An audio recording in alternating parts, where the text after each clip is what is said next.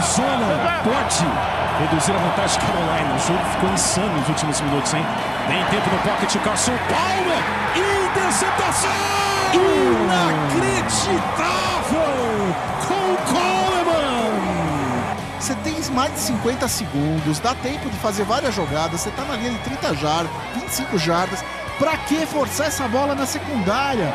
Tinham três jogadores ali, dois dentro da endzone, mais um aqui fora chegando. Né? O Kurt Coleman é um jogador que, se você tem um mínimo de estudo sobre o que, o que ele fez na temporada, você não lança essa bola.